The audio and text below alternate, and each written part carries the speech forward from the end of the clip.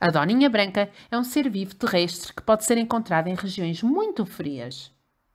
Assim, a fim de se camuflarem para não serem encontradas pelos seus predadores, são revestidas por uma camada de pelo branco cuja espessura pode variar consoante a estação do ano. Porém, a sua existência tem sofrido algumas ameaças, uma vez que, com o aquecimento global, as temperaturas aumentam, o que faz com que a neve derreta e seja mais fácil de serem apanhadas por outros animais.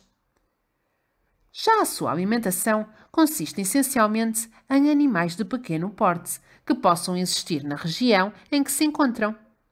Espero que tenham gostado de saber mais sobre este animal terrestre.